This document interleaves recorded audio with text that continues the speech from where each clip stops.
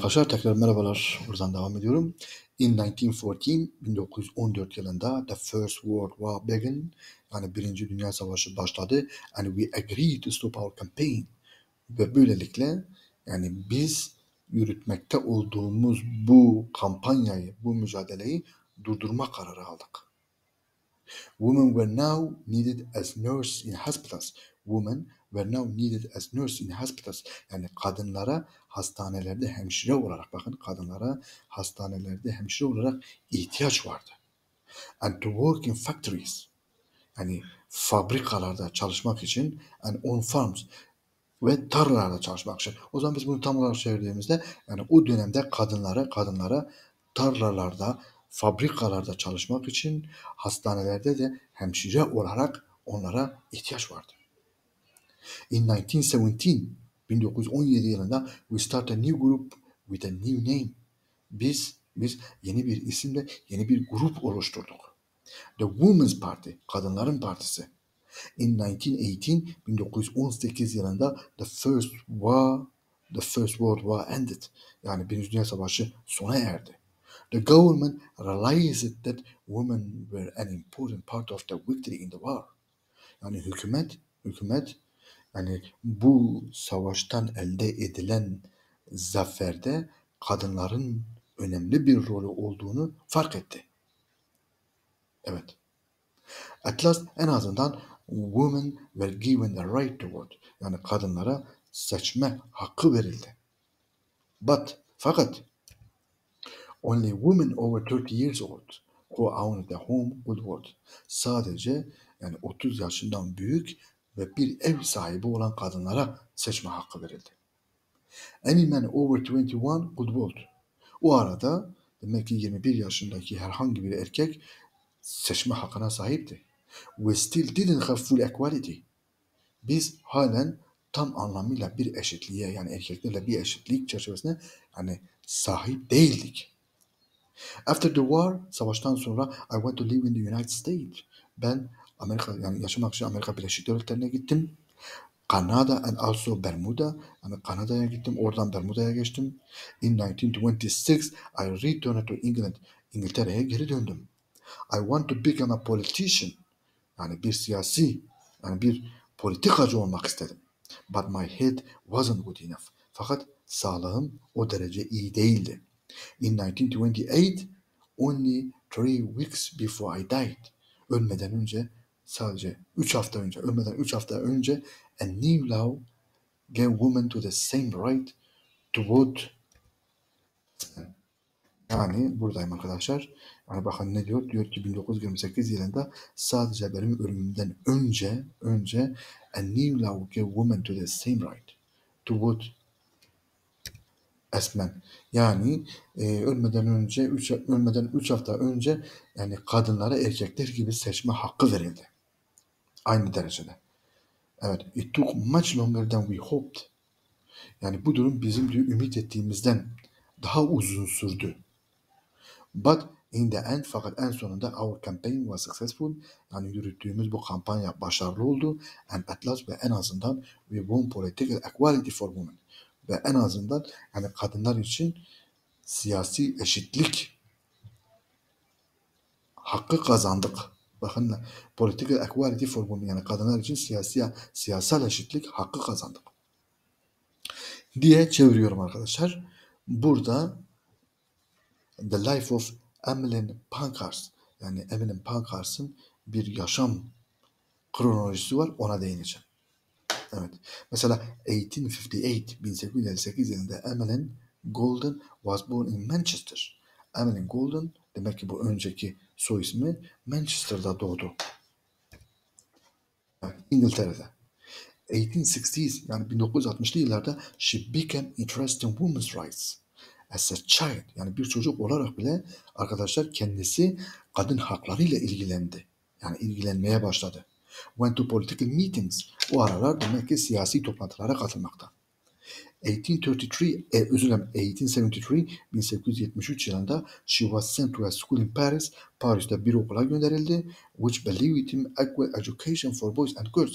Yani Paris'te kendisi yani erkek erkek, erkek çocuklarla kadın özür dilerim erkek çocuklarla yani kız çocuklarının eşit şekilde yani eşit haklara sahip bir eğitim aldığına yani eğitim verildiğine in, inanıldığı bir okula gönderildi Paris'te. Şuradayım. 1879 she met and married Richard Pankhurst. Yani kendisi 1879 yılında Richard Pankhurst'la tanıştı ve evlendi. Evet. Lawyer kendisi bir lawyer yani avukat. He believed in votes for women. Kendisi kadınların seçme yani seçilme seçme hakkına sahip olmasına inanan birisiymiş. 1886 1886 yılında The Family moved to London. Aile Londra'ya taşındı. They had meetings for political activities in their home. O arada yani kendileri bulundukları bölgede siyasi aktiviteler yani siyasi aktivite içeren meetingler yani toplantılar mesela meydana getirdiler. 1893 yani 1893 yılında Richard and Emily returned to Manchester. Richard ve Emily Manchester'a geri döndü. Evet.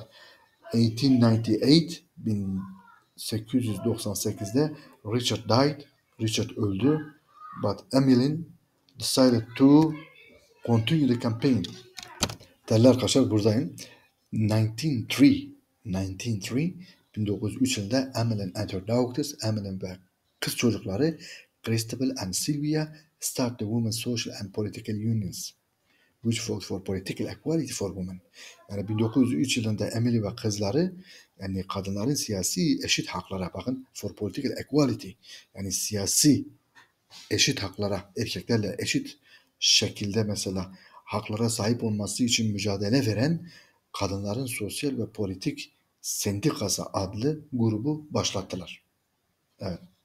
1905 1905 yılında Christabel was arrested during a protest. Yani kızı Christabel bir protesto sırasında arkadaşlar tutuklandı. 1908 1908 yılında Emmeline was arrested for the first time. Emmeline hayatında ilk kez polis tarafından tutuklandı. She went to prison for six weeks. 6 haftalığına hapishaneye gönderildi. 1910 Prime Minister Asquith stopped the law that gave women to vote. 1910 yılında başbakan arkadaşlar Asquith kadınlara seçme hakkını tanıyan kadını e, özür dilerim kanunu kanunu durdurdu. Yani iptal etti. The WSPU protested and 100 women were arrested. Bu arada demek ki bu kısa adı demin gösterdiğimiz örgüt yani sendika bu durumu protesto etti ve bu sırada 100 kadın 100 kadın tutuklandı.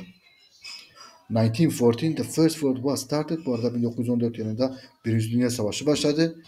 The first e, yani bu örgüt sendika stopped their campaign for the vote yani kadınların seçme hakkına kavuşabilmelerini amaçlayan kampanyasını sonlandırdı. Evet.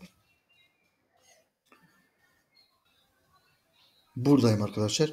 1916 Emmeline visited United States. Emmeline Amerika Birleşik Devletleri'ni ziyaret etti. Kanada'yı and Rusya'yı demek ki bakın gezmiş arkadaşlar. Kanada ve Rusya'yı ziyaret etti. She wanted women there to fight for vote in their countries. O yani kendisi bu ülkelerde bulunan kadınların hakları için mücadele etmesini istedi. 1917 Christabel and Emmeline started the Women's Party. 1917 yılında Christabel and Emmeline yani kadınların partisini kurdular.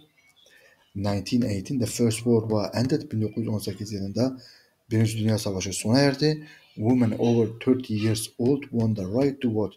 30 yaşından daha yani 30 yaşından daha yaşlı olan kadınlar seçme hakkına kavuştular. After the war, savaş sonrasında Emmeline went to live in the United States. Emmeline yaşamak için Amerika Birleşik Devletleri'ne gitti. Kanada'ya geçti. Bermuda'ya geçti arkadaşlar. 1926 she returned to England. 1926 yılında kendisi tekrar İngiltere'ye geri döndü. And want to become a politician ve bir siyasi olmak istedi. She became ill. Kendisi hastalandı. And couldn't continue with her plans. Ve böylelikle ne yazık ki yani planlarını devam ettiremedi. 1928 Amelin died in London a few weeks after new law gave equal voting rights to women. Yani 1928 yılında Amelin eee yani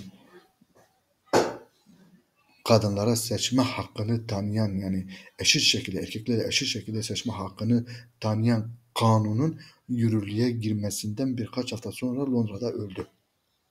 She she she was 69 years old. Kendisi 69 ya- yaşındaydı arkadaşlar öldüğünde. Değerli arkadaşlar hikayemizi bitirdik. Bir sonraki hikayede tekrar görüşmek dileğiyle. Umarım beğenmişsinizdir. Umarım sizin için yararlı olmuştur ve yararlı olduğunuzu düşünüyorsa, düşünüyorsanız lütfen paylaşınız arkadaşlar.